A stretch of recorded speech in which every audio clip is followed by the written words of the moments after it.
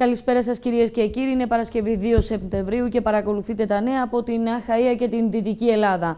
Παρουσία του Πρωθυπουργού Αλέξη Τσίπρα, του Υπουργού Υποδομών Χρήστου Σπίρτζη, της κυβερνητικής εκπροσώπου Όλγα Γεροβασίλη, υπουργών και βουλευτών της κυβέρνησης, αλλά και ερετών της τοπικής αυτοδιοίκησης, παραδόθηκαν σήμερα και επίσημα στην κυκλοφορία τα πρώτα 20 χιλιόμετρα της Ολυμπίας Οδού και οι σύραγγες στο ύψος του Δερβενίου.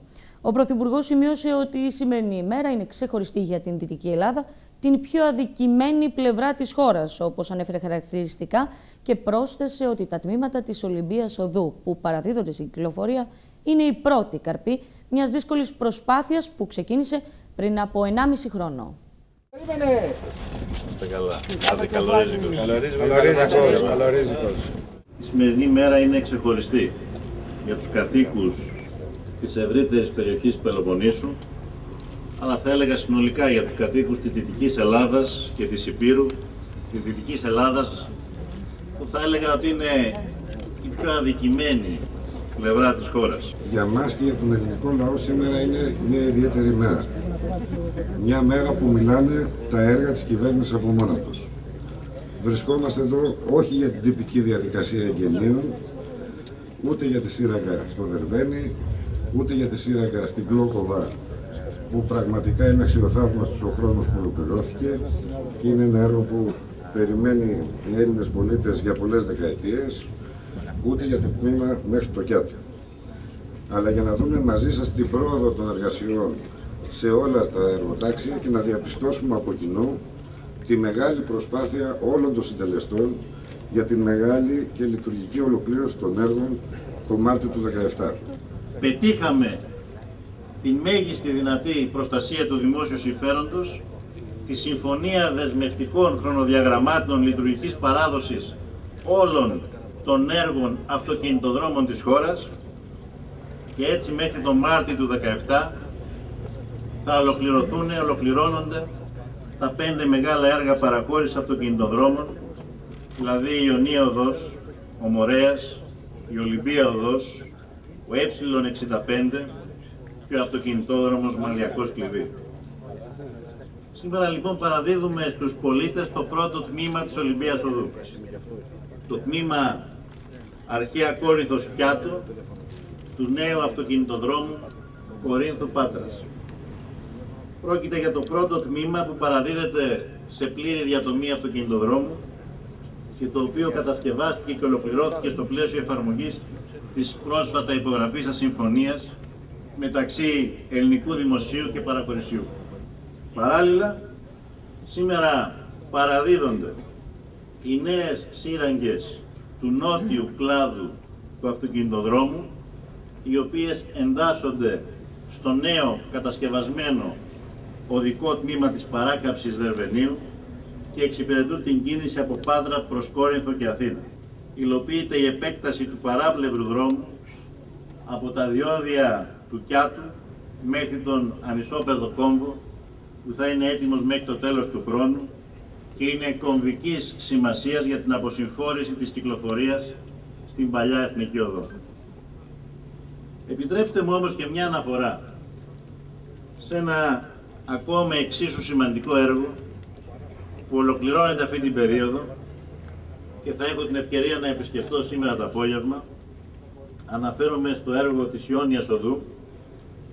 Τον Μάρτιο του 2017 το σύνολο του έργου της Ιόνιας Οδού παραδίδεται σε λειτουργική κυκλοφορία και λίγους μήνες αργότερα, τον Αύγουστο του 2017, σε πλήρη λειτουργία.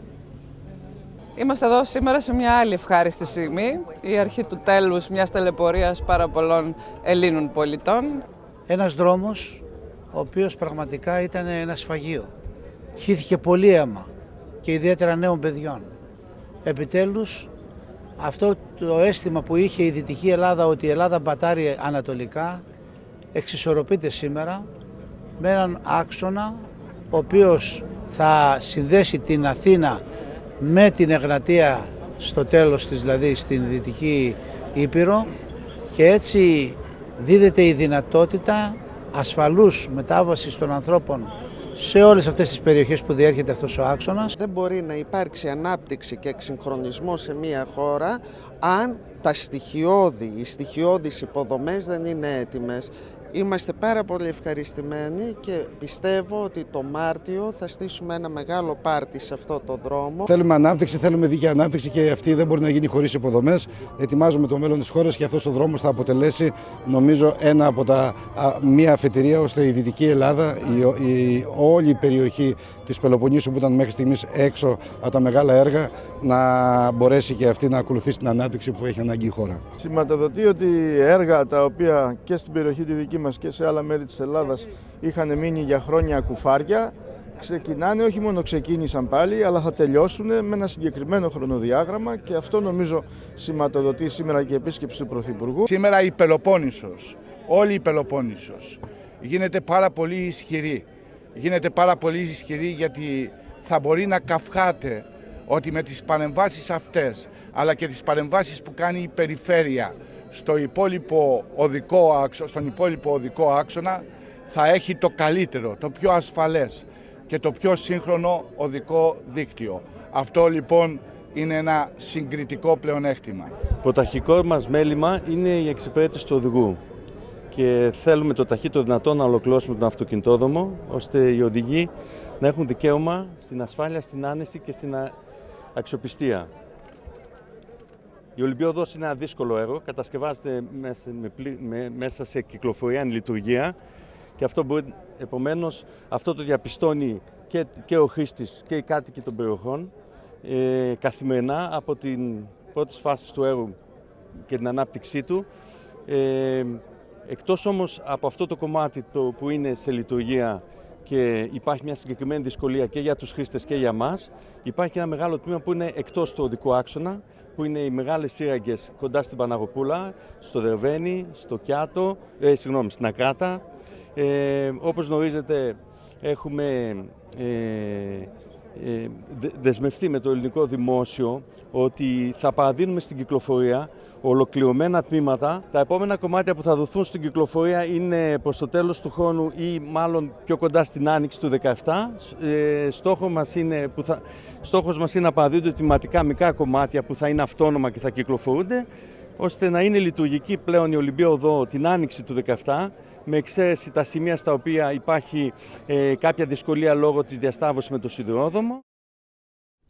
Την Πέμπτη όμως είχαμε και επιστολή παρέμβαση προς τον Πρωθυπουργό από τον Περιφερειάρχη Δυτικής Ελλάδος Απόστολο Κατσιφάρα για τα μεγάλα οδικά έργα και τις αναπτυξιακές ευκαιρίες που δικαιούται η Δυτική Ελλάδα. Στην επιστολή ο κ. Κατσιφάρας ε, ζήτησε να αρθούν οι αδικίες και οι ανισότητες που βασανίζουν την περιοχή εδώ και δεκαετίες. Ιδιαίτερη έμφαση όμως έδωσε ο Περιφερειάρχης στο θέμα των διοδίων ζητώντας την επανεξέταση του θέματος. Είσαι καλά. Είδα και μια επιστολή σου. Θα σου φλιάσει τα βάλει τα δύο. Εγώ αυτό είπα. άλλο είπα. Εγώ άλλο είπα. Και νομίζω δεν το καταλάβω. Γιατί θα έχουμε πρόβλημα. Θα δούμε, θα παλέψουμε. Εκεί πέρα που είναι ο... Παρακαλούμε να ξεκινήσουμε. Και νομίζω ότι υπάρχει ένα παιδί. Εγώ θα συμφωνήσω μαζί σας αλλά προτιμώ να πληρώνω διόδια παρά να, να, να σκοτωθεί το παιδί μου, το παιδί σου, το παιδί κάποιου άλλου ανθρώπου.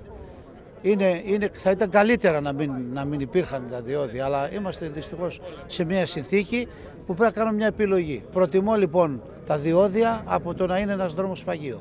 Η χρήση των δρόμων αυτών δεν πρέπει να έχει απαγορευτικό κόστος για τους πολίτες. Ξέρουμε ότι εδώ έχουμε να κάνουμε με συμβάσεις που έχουν υπογραφεί από προηγούμενες κυβερνήσεις πολύ πιο πριν.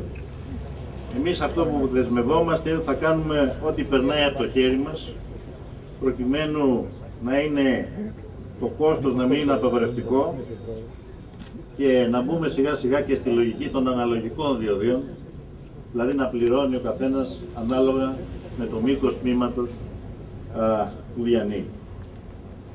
Είμαστε λοιπόν έτοιμοι να προχωρήσουμε σε συζητήσεις και παρεμβάσεις με τους παραχωρησιούχους για να εξορθολογιστεί το κόστος διέλευσης και να είναι προσιτό προς όλους τους πολίτες. Θα περάσουμε όμως σε αυτό το σημείο να παρακολουθήσουμε τις δηλώσεις του Πρωθυπουργού για τα μεγάλα αναπτυξιακά έργα που είναι σε εξέλιξη σε ολόκληρη την χώρα, τα οποία όπως τόνισε θα διευκολύνουν την καθημερινότητα των πολιτών και θα συμβάλλουν στην αναπτυξιακή προοπτική. Ο Πρωθυπουργός δεν έκανε ωστόσο καμία αναφορά στο κομμάτι που αφορά τον πύργο μέχρι Τσακώνα. Παράλληλα ανέφερε χαρακτηριστικά πώς θα διαψευστούν οι Κασάνδρες και το 2016 δεν θα έχει αρνητικό πρόσημο. Η ανάπτυξη δεν θα έρθει, δεν θα βρέξει από τον ουρανό ανάπτυξη, αλλά πρέπει να δουλέψουμε για να υπάρξει ανάπτυξη. Και το κυριότερο, όλες οι προβλέψεις, θα μιλήσουμε αναλυτικά στη δέθη αυτά, δείχνουν ότι παρά τις Κασάνδρες το 16 δεν θα έχει αρνητικό πρόσημο. Το πιθανότερο είναι να κλείσει με θετικό πρόσημο και το 17 αναμένουμε υψηλούς ρυθμούς. Το κρίσιμο ερώτημα όμως είναι αυτή η θετική ρυθμή ποιον θα ωφελήσουν. Ανάπτυξη λοιπόν για ποιους είναι το κύριο ερώτημα για μας και τι είδους ανάπτυξη; Εμείς λέμε δίκαιη και βιώσιμη ανάπτυξη. Και η δίκαιη ανάπτυξη δεν σημαίνει μονάχα παραγωγή και δίκαιη αναδιανομή της πίτας, παραγωγή νέου πλούτου, νέας πίτας, αλλά και πού θα παράγουμε πλούτο. Και εδώ αυτά τα έργα είναι ένα σημαντικό μήνυμα, διότι παράγεται πλούτος σε υποβαθμισμένες περιοχές, όχι στο κέντρο, στη Δυτική Ελλάδα. Έχουμε λοιπόν ε, εκπονήσει ένα οργανωμένο σχέδιο, αντιμετωπίζοντας χρόνια και δυσεπίλητα προβλήματα του παρελθόντος. Παρά τις εξαιρετικά δύσκολες δημοσιονομικές συνθήκες που αντιμετωπίζει η χώρα, πετύχαμε ήδη να θεμελιώσουμε και αρχίζουμε να οικοδομούμε ένα νέο πρόγραμμα αναπτυξιακών επενδύσεων του δημοσίου συμφέροντος για την επόμενη δεκαετία. Ένα πρόγραμμα εθνικής σημασίας με στόχο την άμεση μείωση ανεργίας, την αντιμετώπιση της οικονομικής ύφεσης και αυτό το σχέδιο το υλοποιούμε με τη συμμετοχή όλων των υγιών παραγωγικών δυνάμεων του τόπου. Ο προγραμματισμός για ένα μακρόπνο πρόγραμμα δημόσιων επενδύσεων μπαίνει σιγά σιγά σε τροχιά υλοποίησης. Το νότιο τμήμα του άξονα κεντρικής Ελλάδας ε65 είναι η πρώτη. Πρόκειται για το τμήμα από τη Λαμία στην Ξινιάδα κόστους 310 εκατομμυρίων ευρώ με διασφαλισμένη χρηματοδότηση από το ΕΣΠΑ 1420. Με την ολοκλήρωση του τμήματος αυτού το 2020 ο ε65 θα συνδέεται με τον ΠΑΘΕ εντασσόμενος έτσι λειτουργικά στο δίκτυο αυτοκινητοδρόμων της χώρας. Και έτσι η απόσταση Αθήνα-Τρίκαλα από 4,5 ώρες περίπου που είναι σήμερα θα μειωθεί σε λιγότερο από 3 ώρες. Θα συνδεθούν πόλεις της Θεσσαλίας, τα Τρίκαλα, η Καρδίτσα με την πρωτεύουσα. Και η δεύτερη, η δεύτερη μεγάλη παρέμβαση αφορά τον αυτοκινητόδρομο Πύργος Πάτρα. Μέχρι σήμερα έχουν δημοπρατηθεί τρία υποτμήματα του έργου. Η διαδικασία για το τέταρτο ολοκληρώνεται στις 27 Σεπτεμβρίου, ενώ μέσα στο φθινόπωρο και μέχρι το τέλος του 2016 θα έχει ολοκληρωθεί η σειρά των δημοπρατήσεων και θα έχουν αναδειχθεί ανάδοχοι. Στο σημείο αυτό περνάμε στο στούντιο και καλησπέριζω τον συνάδελφο Μιχάλη Μπαϊρακτάρη. Μιχάλη, καλησπέρα. Καλησπέρα, Ελένη, κυρίες και κύριοι. Λοιπόν, έχουμε λοιπόν τα 20 πρώτα χιλιόμετρα που δίνονται επίσημα στην ε, κυκλοφορία. Παρουσία ε, του Πρωθυπουργού. Ακούσαμε ε, από το πρωί ε, διάφορες δεσμεύσεις. Ο Πρωθυπουργός μιλά για ανάπτυξη, για θετικό πρόσημο το 2016. Ε, ακούσαμε κάποια πράγματα και κάποια άλλα δεν τα ακούσαμε, όπως το πύργος Τσακώνα. Μάλιστα, όχι όμως για τα διόδια. Ναι, έχουμε τα πρώτα 20 χιλιόμετρα και περιμένουμε τα υπόλοιπα 100, για να λέμε τα πράγματα με το όνομά τους. Σαφώς. Όλα αυτά γίνονται και η περιοδία η σημερινή του Πρωθυπουργού έγινε με ένα και μοναδικό στόχο. Να διατυπώσει τις απόψεις του γύρω από αυτά που θα ακουστούν ε, ε, πιο συγκεκριμένα στη Διεθνή Έκθεση της Θεσσαλονίκης. Είναι ένα πρόγραμμα το οποίο ακολουθεί ο Πρωθυπουργός εν ώψη της ομιλίας του στη συμπρωτεύουσα. Εκεί όπου θα συγκεντρωθούν διαμαρτυρόμενοι ε, δεκάδες κατηγορίες εργαζομένων και βέβαια οι εργαζόμενοι στα σώματα ασφαλείας. Αυτό που όμως δεν ακούστηκε παρά τον στενό κορσέ που του δημιούργησε ο Απόστολος Κατσιφάρας, ο γραμματέας της περιφέρειας, της Ερετής Περιφέρειας, για τα διόδια. Η αλήθεια και τα διόδια είναι μία και μοναδική. Έχουν αυξηθεί από την 1η Ιουνίου, τον, περασμένο, τον προπερασμένο μήνα δηλαδή, ε, αφού από το 23% πήγε στο 24% ο ΦΠΑ. Αυτό είναι μια πραγματικότητα. Ο κύριος Πρίντσης, πριν έρθει μαζί με τον Πρωθυπουργό στην Πατρών Κορίνθου για να κάνουν αυτά τα εγγένεια, άφησε ανοιχτό το ενδεχόμενο να έχουμε νέα αύξηση των διοδίων. Αυτή τη στιγμή, ε, με βάση τα δεδομένα και με βάση τους νέους σταθμούς που θα φτιαχτούν, από την Πάτρα μέχρι ένα γιοταχή επιβατικό αυτοκίνητο, μέχρι και το, την Κόρινθο θα πληρώνουμε περίπου 7,80 ευρώ. Αν θες να πας παραπέρα θα πρέπει να κάνουμε τους υπολογισμούς και αν θες να περάσεις και από την ε, Αττική Οδό για να πας στο αεροδρόμιο των Σπάτων από την Πάτρα τότε το μενού περιλαμβάνει 18,5 ευρώ. Ο κύριος ε, Τσίπρας, ο Πρωθυπουργός, ήταν διαβασμένος, όπως φάνηκε.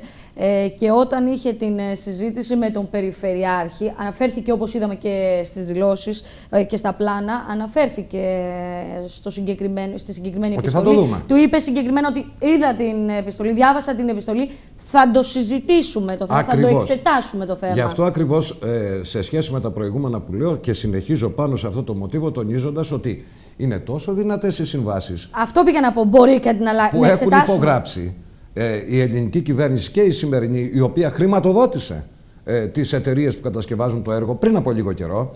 Έχουν υπογράψει τέτοιες ισχυρές συμβάσεις με νομικό καθεστώς τέτοιο που δεν ανατρέπεται, που προβλέπει την αύξηση των διοδίων. Άρα, ο κύριος Πρίτζης δεν είπε λόγια του αέρα, προσέγγισε το θέμα προσεκτικά. Είπε ναι, συμβαίνει και αυτό. Άρα λοιπόν να περιμένουμε τις ε, αυξήσεις και όχι τις μειώσεις. Βεβαίως το δίκαιο αίτημα που το έχει θέσει πρώτος ο Αντιπεριφερειάρχης, ο κύριος Αλεξόπουλος και το συνέχισε, το στηρίζει ο κύριος Κατσιφάρας, είναι όλο αυτό το διάστημα που εκτελείται το έργο να σταματήσει επιτέλους να πληρώνει ο άμυρος πολίτης ε, διόδια για ένα δρόμο που δεν αξίζει δεκάρα. Έτσι δεν είναι. Αυτή, αυτό είναι το νόημα. Όμως ο Πρωθυπουργός δεν το κάνει γιατί οι συμβάσεις δεν θα το κάνει μάλλον γιατί οι συμβάσεις που έχουν υπογραφεί είναι ισχυρότατες από νομική άποψη. Εμείς θα ευχηθούμε να δούμε τον ε, δρόμο να ολοκληρώνεται εντός των χρονοδιαγραμμάτων. Φαίνεται ότι θα πληρώσουμε ακριβά ε, τον συγκεκριμένο δρόμο, αλλά σε ευχηθούμε ε, τέλος πάντων, έστω και μετά από πολλά χρόνια, γιατί μιλάμε για ένα έργο που έρχεται να δοθεί. χρόνια, Έρχεται να δοθεί, τώρα, δίνουμε 20 χιλιόμετρα για να ε, δούμε και το θέμα πιο αναλυτικά. Το γεγονός ότι δεν αναφέρει. 20 χιλιόμετρα μετά από πάρα πολλά χρόνια. Δηλαδή... Μετά από 8 χρόνια και. Λοιπόν. Δεν, νομίζω ότι χρειάζονται πυροτεχνήματα στο συγκεκριμένο έργο. Έστω όμως ότι προχωράει. Να σε πάω όμως ε, στην, ε, στο άλλο θέμα, στο άλλο σημαντικό θέμα για την Θα περιοχή ήθελα να σου μας. πω ότι όταν λέμε πύργου τσακώνα που δεν έγινε Εκεί. κουβέντα για το θέμα. Αυτό ακριβώς. Κουβέντα, μιλάμε για την αρχαία Ολυμπία. Μιλάμε για έναν δρόμο που καταλήγει στην αρχαία Ολυμπία. Η αρχαία Ολυμπία είναι παγκόσμιος τουριστικός προορισμός. Δεν είναι επεξεγέλας. Είναι, είναι παγκόσμιος τουριστικός προορισμός. Κι όμως για αυτό το κομμάτι δεν υπάρχει μέρημνα. Ναι, δεν υπήρξε καμία αναφορά γιατί ο Πρωθυπουργός αναφέρθηκε σε σχεδόν όλα τα μεγάλα έργα που είναι σε εξέλιξη. Ε, και δεν, δυστυχώς, ακούσαμε και για την πατρόν ε, πύργου, το ακούσαμε και νωρίτερα στη, στα όσα ανέφερε ο Πρωθυπουργός. Δεν ακούσαμε τίποτα όμως. Ε, φαίνεται ότι είναι εκτός των. Είναι πολύ σημαντικό το κομμάτι. Και όσο αφορά την ανάπτυξη, όπου ο Πρωθυπουργός ε, σχολίασε δεόντως το θέμα και ναι. έκανε αναφορές γενικόλογες όμως για να λέμε τα πράγματα Είπε με θα πει περισσότερα στη Διεθνή Έκθεση Θεσσαλονίκης. Ακριβώς. Θα τα πει, λέει, στη Διεθνή Έκθεση Θεσσαλονίκης. Το ότι είναι αδικημένη περιοχή η περιφέρεια της Δυτικής Ελλάδος και ότι, εν πάση περιπτώσει, είναι η πιο, από τις πιο φτωχές περιφέρειες της Ευρωπαϊκής Ένωσης, το έχουμε ξανακούσει και από άλλους πρωθυπουργούς. Όμως, μέχρι στιγμής δεν έχει γίνει κάτι το συγκεκριμένο. Και όταν λέμε ανάπτυξη για την περιφέρεια Δυτικής Ελλάδος, θα έρθει το φυσικό αέριο, ένα το κρατούμενο. Θα ανοίξει επιτέλους, θα λειτουργήσει το φράγμα πύρου παραπύρου για να πάρει και η βιομηχανική περιοχή των πατρών νερό που το έχει άμεση ανάγκη. Είναι πάρα πολλά τα ζητήματα και θέλουμε πολλές ώρες για να τα συζητήσουμε σε σχέση με την ανάπτυξη. Μιχάλη, θα τα πούμε και πάλι σε λίγο. Από το Κιάτο, λοιπόν, όπου ο Πρωθυπουργός βρέθηκε για να παραδοθούν στην κυκλοφορία και επίσημα τα πρώτα 20 χιλιόμετρα, αναφέρθηκε και στον διαγωνισμό για τις τηλεοπτικές άδειες. Δεσμεύθηκε πως τα 246 εκατομμύρια ευρώ, τα έσοδα δηλαδή από τις τηλεοπτικές άδειες, θα διατεθούν σε έκτακτες δράσεις για την στήριξη ευπαθών ομάδων. Ο Αλέξης Τσίπρας ανέφερε χαρακτηριστικά πως μετά από 27 χρόνια μπήκε ένα τέλος στην ανομία. Το θέμα της ε, δημοπρασίας των τηλεοπτικών αδειών σχολίασε και η κυβερνητική εκπρόσωπος, η οποία μάλιστα αναφέρθηκε και στην διαδικασία που θα υπάρξει για τις άδειες των περιφερειακών καναλιών. Όπως λέει και ο λαός μας, αν είσαι και παπάς με την αράδα σου θα πας και αυτό βεβαίως δεν αφορά τον Υπουργό Επικρατείας.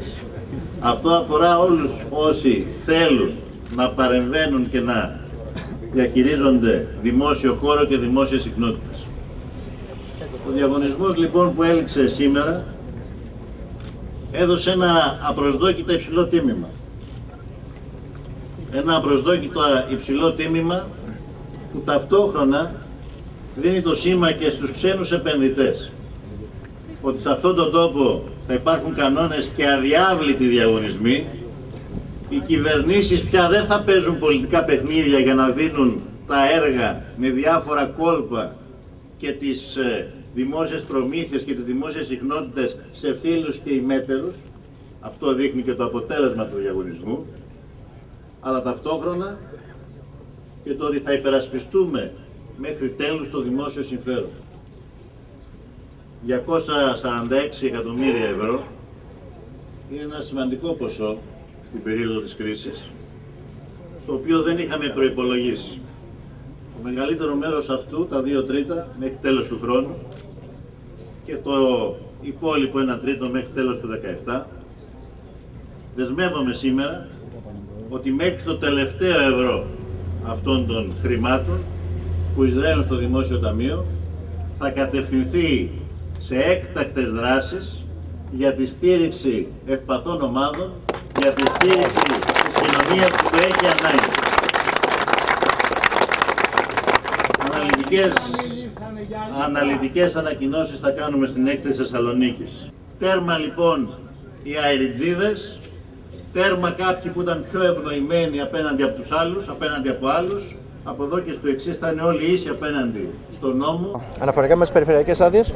Είναι μια συζήτηση που θα ξεκινήσει αμέσως μετά, με στόχο επίσης να μπει ένα υγιές ε, ε, υγιές και πεδίο το οποίο θα ευνοήσει και την ενημέρωση ε, και τους εργαζόμενους στα μέσα ενημέρωσης και βεβαίως για να κάνουμε και τη μεγάλη συζήτηση τι είδους δημοκρατία θέλουμε, άρα και τι είδους ενημέρωση θα θέλουμε. το ΕΣΟΥΡΟΥ στις περιφερειακές άδειες. Κοιτάξτε, ε, θέλαμε εξ αρχής το ΕΣΟΥΡΟΥ να επιτελέσει το ρόλο του. Σε αυτό θα πρέπει να δώσει απαντήσεις η Νέα Δημοκρατία όμως, διότι ε, τορπίλησε τη συγκρότηση του ΕΣΟΥΡΟΥ. Ε, κάναμε τρεις προσπάθειες όπως όλοι ξέρετε προκειμένου να συγκροτηθεί, ε, όχι μόνο για να δώσει τις άδειες, αλλά για να ελέγχει και να παίζει το ρόλο του και στην πορεία. Ε, η Νέα Δημοκρατία, όχι μόνο η Νέα Δημοκρατία, αλλά και το ΠΑΣΟΚ, νόμιζαν ότι με αυτόν τον τρόπο θα σταματήσουν τη διαδικασία διοδοτήσεων. Επομένως θα κάνουμε πάλι προσπάθεια συγκρότησης του ΕΣΟΡΟΥ αμέσως μετά. Και ελπίζουμε αυτή τη φορά η αντιπολίτευση να σταθεί στο ύψος της.